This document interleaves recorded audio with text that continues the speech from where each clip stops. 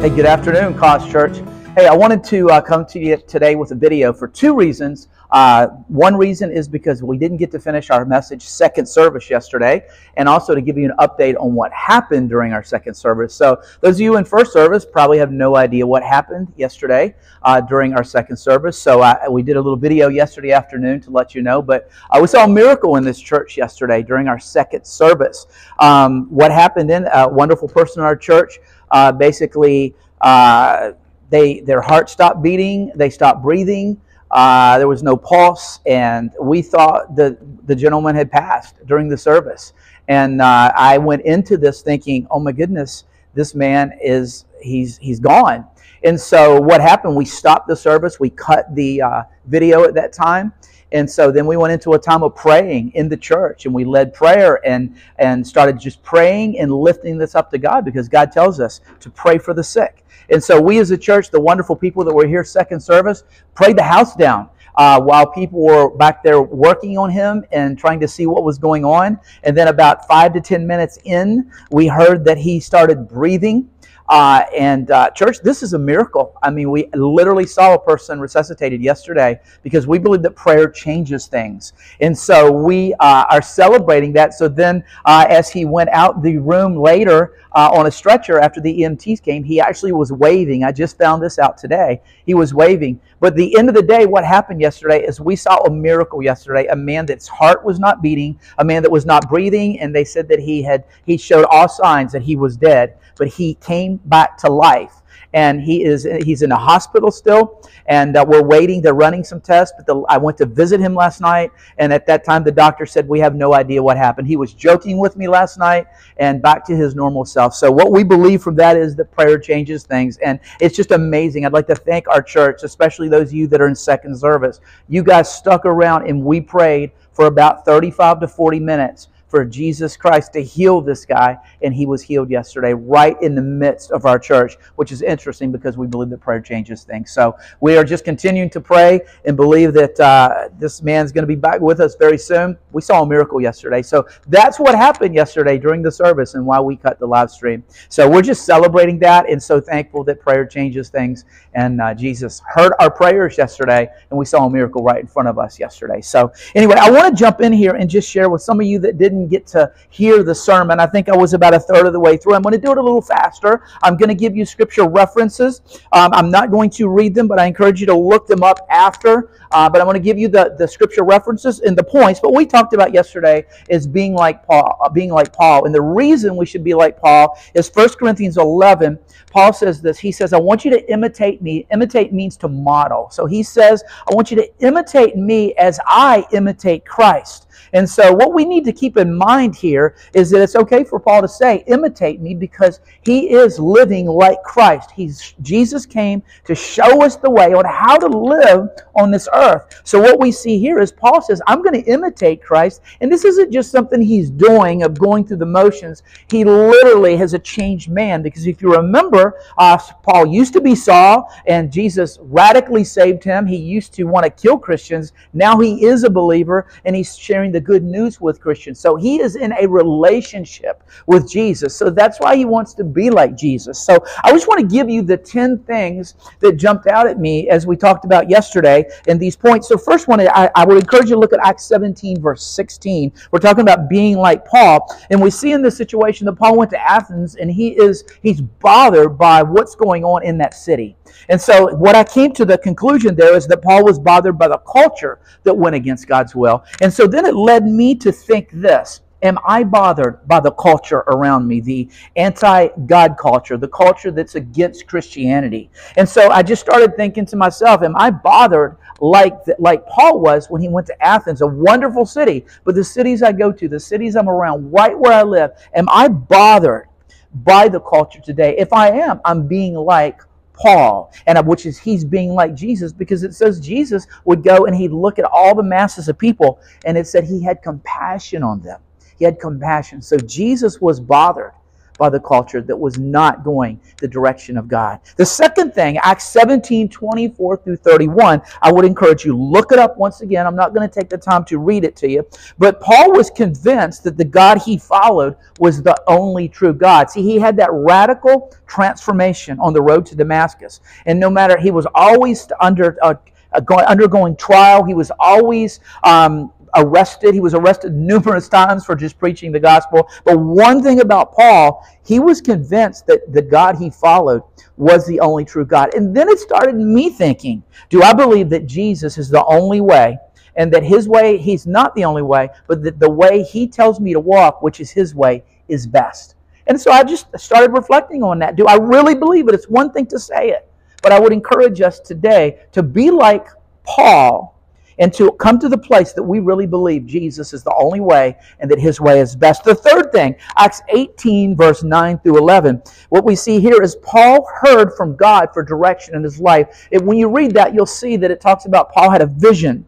And his vision was that God appeared to him and said, Listen, don't be afraid. I have people here for you to lead into my kingdom. So don't be afraid. I will be with you. And it started me thinking, Am I like Saul, or Paul in this way? Do I hear from God for direction in my life. And I encourage you that God wants to give you dreams. He wants to give you visions. He wants to speak into your life on a regular basis. Remember this, He'll never speak anything that's contrary or goes against what the Bible says. So if that happens, you can throw it out. It wasn't God because He's always going to speak and be consistent with His Word. But I, I promise you, I, I encourage you to get to the place to say, God, I want you to speak to me through dreams and visions. This changed Paul's life because it helped him stay there, I believe, for another year and a half and gave him the courage to stay there because God told him, He said, Step, don't be afraid. I'm with you.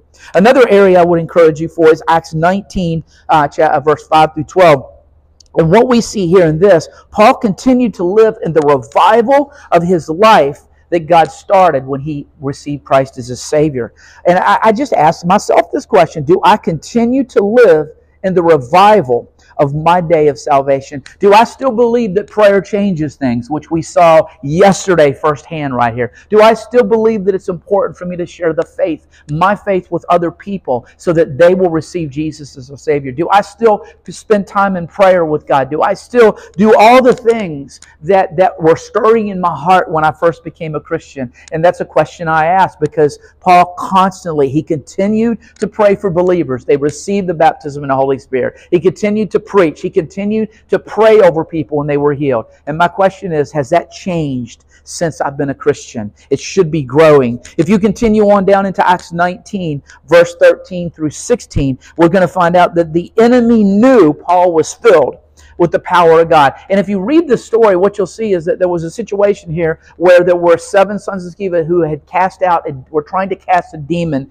out of a person. And the demon came out of the person, actually spoke to those guys, and said to them, I know who Paul is but I don't know who you are. And so, what that says to me, it, it, led me to the place of does the enemy know that I am filled with the power of God? Paul was certainly filled with the power of God. Why? Because even the demons recognized and said, I know who Paul is, I know who Jesus is, but I don't know who you guys are. See, there's a difference there. What's the difference? Paul was filled with the power of God. These guys were not even followers. And so, it I, I led me to the place in my life.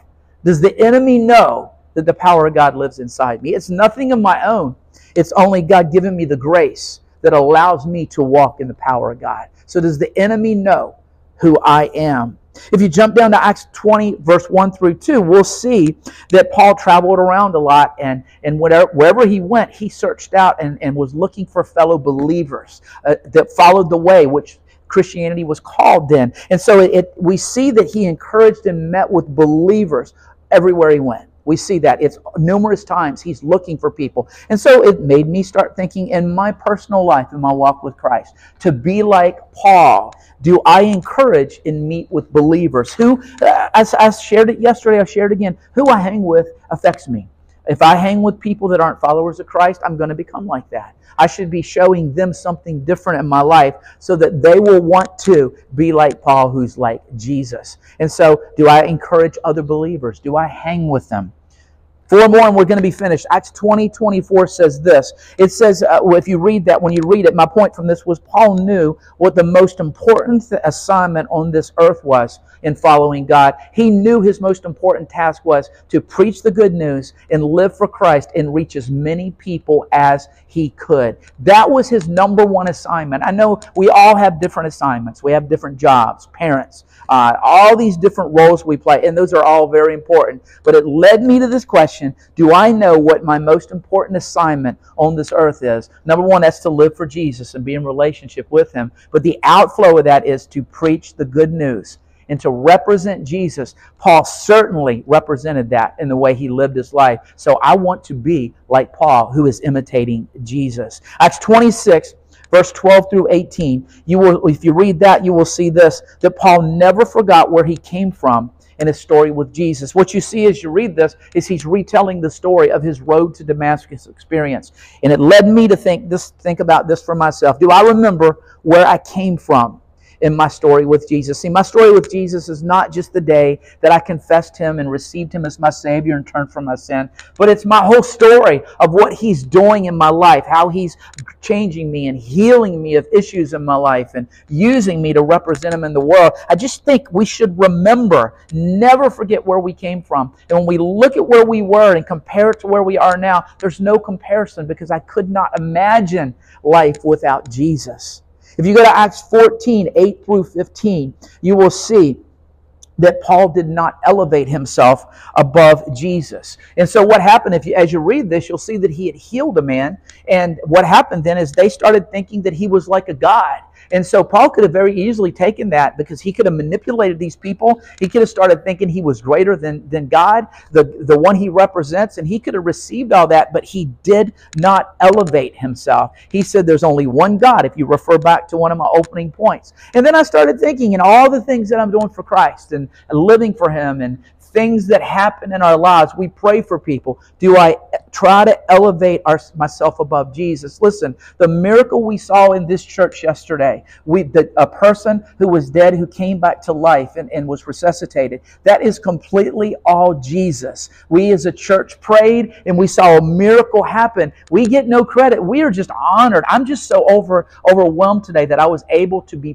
part of that and to see Jesus Christ raise somebody up like that yesterday. And last but not least, in Acts 19, 17 through 20, this is the follow right after the story I referred to earlier about the seven sons that tried to cast the demon out of the person, where the demon said, I don't know who you guys are. So what happened then is you read this, you're going to see that Paul created a culture change. What happens in the story is as a result of that demonic activity, which is very alive today, it was alive in God's word, it's alive today. What we see here is that because the, that, that demon beat up that person. It says it beat him up until he was naked and he was beaten badly. That news started spreading around of this had happened. And so what it did, it caused people to begin to change. And they it says that they begin to burn all, all their so, books of sorcery and anything that dealt with the demonic or the occult, they, they, they burn it. It said it was about $3 million in value in today's standards. And so Paul created a culture change. He was preaching, great things were happening, people were being convicted. And in this situation, people were actually getting scared because of the demonic realm, which is real, but we have greater power than that through the name of Jesus Christ.